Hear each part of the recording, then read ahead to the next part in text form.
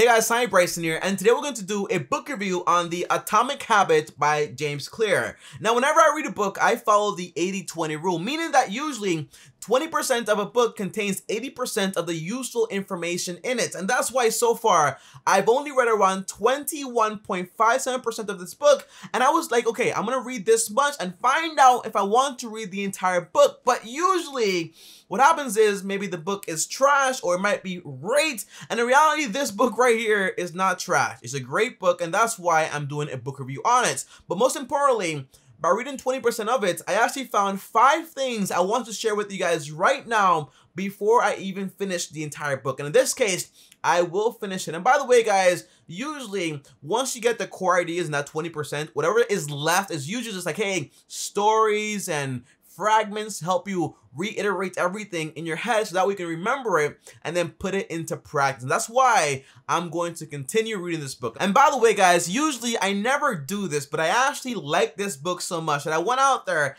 and I actually bought like some of the other content, for example, like a journal and also the other journal he actually has available. So I basically bought all the content for this book right here because basically it's not like a book you read and then boom you read something you learn something but in reality it's a book you read put into action and it changes your entire life so if you want to buy this book i'll put a link down below but most importantly if you want to read this book like listen to it and in reality i'll put a link down below to audible and when you sign up you get two free books and if you cancel you still get to keep them. So I recommend strongly this book right here and also the 80-20 rule book, okay? That book right there was also life changing. Now, by the way, guys, if you guys are new here, I post videos every single day. So make sure to also subscribe and hit the bell so you're notified. On the top of that, also destroy the like button. Now, let's get started, guys, and talk about the five things I learned this book right here. And let's start at the beginning. Now, the first thing is this, okay? What is a habit and what is it made out of? And how can you go ahead and actually change it to get what you actually want and the results you actually want in your life?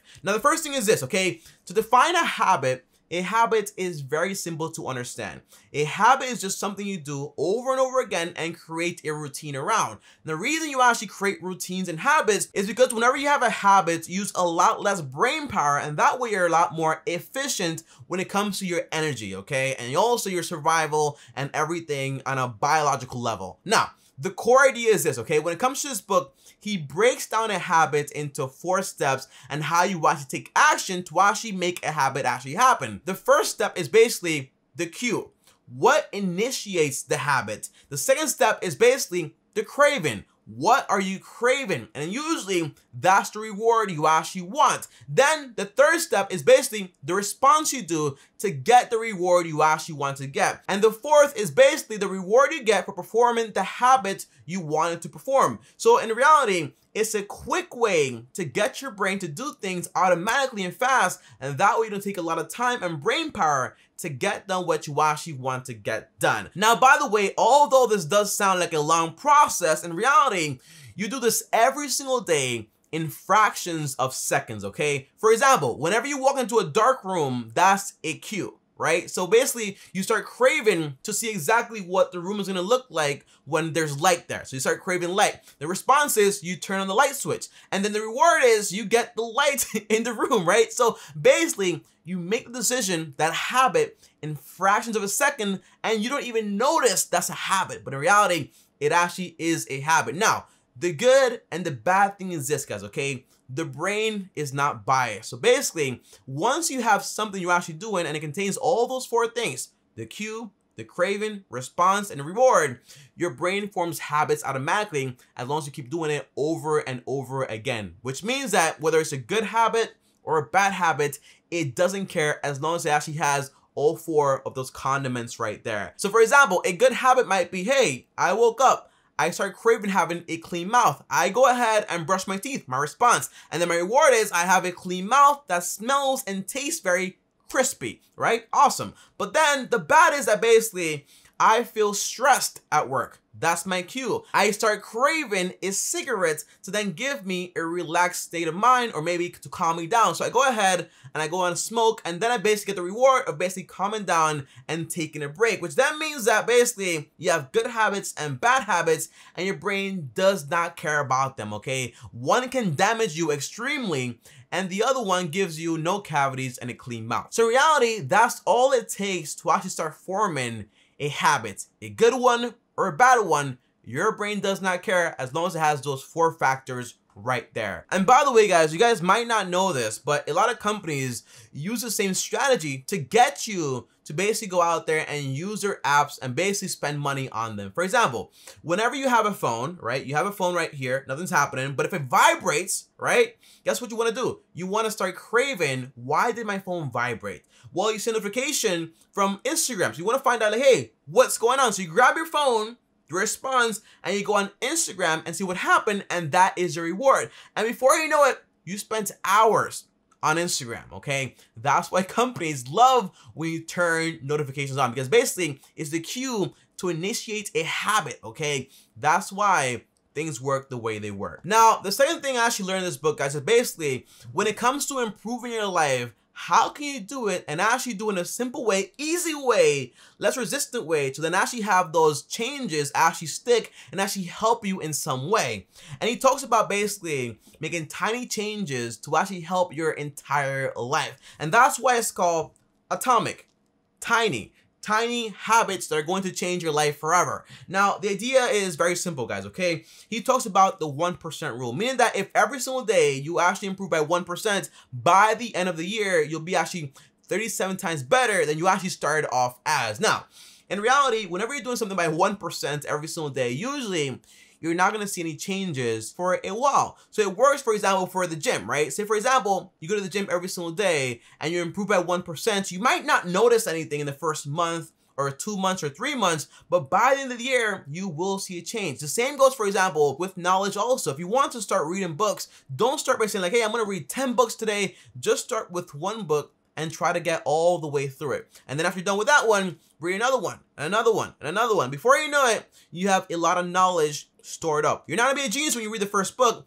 but by the end of reading a ton of books, you'll actually be a lot more knowledgeable than you actually were in the beginning. And that's the core idea, okay? So in reality, when you think about atomic habits, think about compound interest. It's kind of like saying like, hey, whatever I do today, it might not show like a big effect, but in the long term, it's going to compound and you're going to see a massive increase in what you actually been doing. Like massive results, basically, okay? And the third thing I learned, guys, is basically progress and making progress. And the idea is that progress is not linear, but it's actually a curve, right? So linear would be like this, a curve would be like this, right? And the whole thing is that basically whenever you plan out your progress, you think about like this, like, hey, I'm going to do this today, tomorrow I'll do this, and I'll keep going up, up, up, up, up, and everything's gonna be fine. But in reality, progress is more like a curve.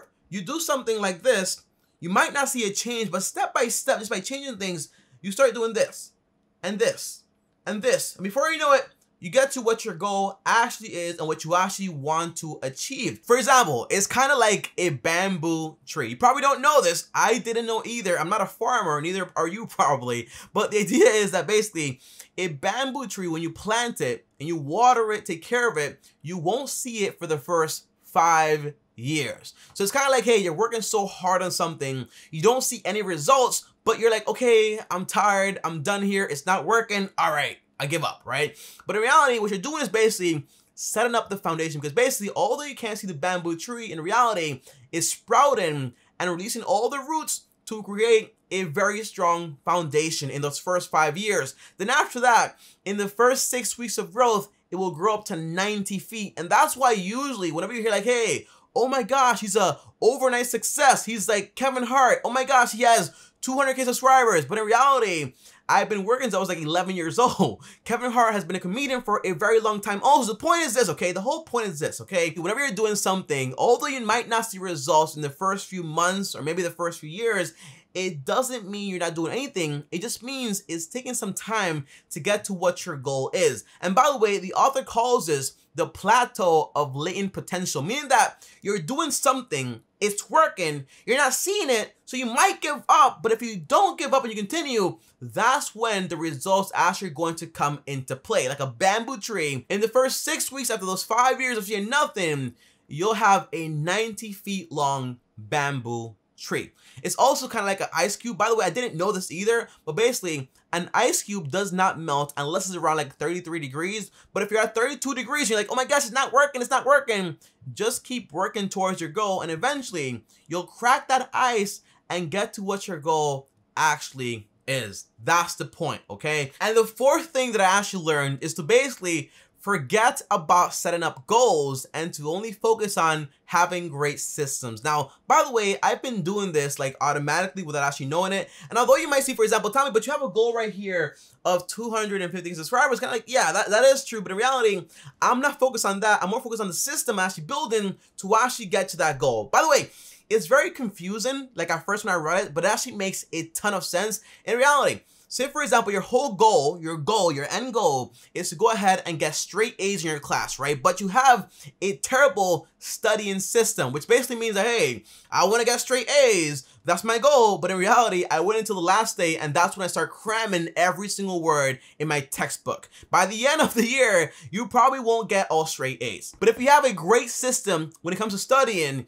you'll get those grades automatically. Because basically, if you study every single night for like 30 minutes or an hour, by the end of the semester, when the tests actually come, you're gonna pass them because basically you've been doing work the entire semester working towards those grades. So automatically, like the system is going to give you the results you basically deserve. So a better system means better results. That's the core idea when it comes to like, hey, don't focus on goals that restrict you. Focus on the system that allows you to get the results you actually want to get. It's a very interesting way to think about it and I actually like it a ton and it makes a lot of sense. Now also, when you think about it on a deeper level, whenever you set up goals, in reality, you're kind of like restricting your happiness. Usually, you set a goal and it's like, hey, I have this goal. Once I get that, I'll be happy. Once I get those A's, I'll be happy. Once I get 250k subscribers, I'll be happy. And in reality, if you get that, you'll be happy momentarily. But if you don't get that, you'll be sad and automatically you'll be like, oh my gosh, I failed, right?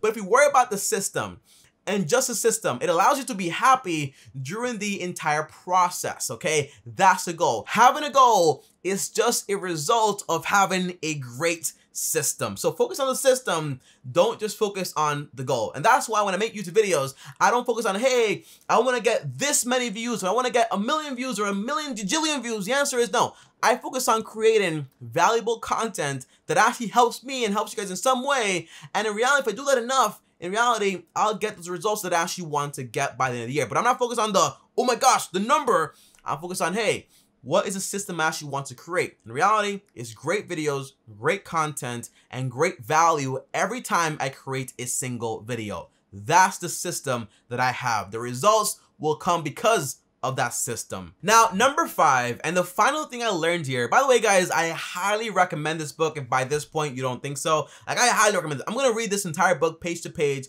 although I already got the knowledge from it because basically the 80-20 rule, but I'm to read this entire book to get all the stories and to have like a better chance of remembering everything I actually read. But the whole thing is that number five is basically the types of habits. Now, I'm not, talking about like good and bad habits, that's different. I'm talking about basically the core foundation of how a habit actually works and the different types of habits. Now, by the way, you only really have two types. You have outcome-based habits and identity-based habits. Now, tell me, what exactly does this mean? It means that basically when you have an outcome-based habit, the whole goal of that habit is to achieve an outcome. It makes sense, right? For example, I want to go to the gym to basically get 40 pounds off my stomach or 40 pounds off my weight, whatever it is, okay? That's my outcome. Now, basically, usually after you get that outcome, what happens next that basically you go back into your normal habits and then usually six months later, you're back again with those 40 pounds. Now, say for example, instead of focusing on the outcome,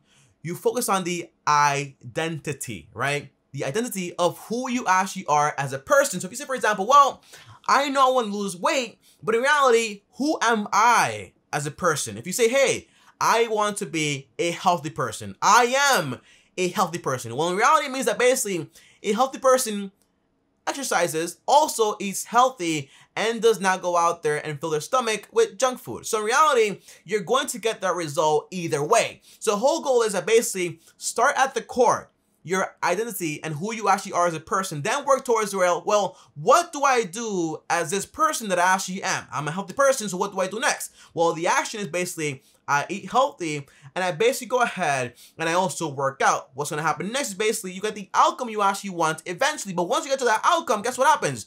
You don't stop because you don't stop being who you actually are. And that's the cool idea about starting at, hey, who am I? Who do I want to be? And what you actually want is going to come either way. That's the core idea here. So basically, instead of saying like, hey, I want to read a book, say, hey, I want to be a reader. What would a reader do? A reader would go ahead and read books. That's the whole goal. I want to be healthy. What does a healthy person do? They go out there and they basically walk, they run, they exercise, and they basically eat healthy. And then guess what happens? eventually you will have a healthier body and also a healthier life. Start with who am I as a person and not, hey, what do I want? That's the core idea here. And that makes so much sense, but it didn't make that much sense until I actually read this book. It's about who you are then what you do as that person, and then the results are going to come either way. It's a simple way of understanding exactly how you get progress when it comes to a habit and how you actually build one. But guys, aside from that, obviously, this book right here contains a lot more information than five nuggets. It contains a vast variety of things you actually need to learn. So I highly recommend you go ahead and read this book right here. Actually, you know, by reading 21%, it's actually taught me a lot more than most of the books I actually read so far. So it says a lot. And by the way, once I'm done with this book, I'll definitely start jotting down things in the journals and that way I'll keep track of everything. And I'll also do like an update video to show you guys exactly how I did so far and how's everything going with this book. By the way, one thing I hate about this book is basically this, okay? I do not like this entire like cover thing. I, I can't stand this cover thing. I, I don't know why. It's just like it's like it's so flimsy. And when I'm reading the book, it kind of like gets in the way, so I have to take it off, and now it's like there. So I wish like authors would consider just like, hey, just have it like the old-fashioned way. Just like put the print right here. It might be more expensive, but in reality, like it's it's a lot better, simple, and it's a lot more nice sleek. But guys, overall, I highly recommend this book. Aside from the sleeve thing, I'll wear it like this for the end of the video. But the whole thing is that basically, go ahead and read this book. And on top of that, also, if you want to get this book for free, free guys, just click my link down below to Audible and get this book and another book for free. And if you cancel, you still get to keep those two free books. It's free, okay? There's no way to lose. And guys, as always, if you guys like this video right here, well, like this video. And also, if you're new here, subscribe and hit the bell so you're notified. And if you want to talk to me one-on-one, just DM me on Instagram type Bryson. Or for example, if you want to text me, well, just subscribe to my Patreon, link down below. And if you want to watch another video and a book review that I actually did on the 80-20 rule, watch this video right here. Click on. See you tomorrow. Thanks for watching. And as always, peace. I'll wear this like this from now on.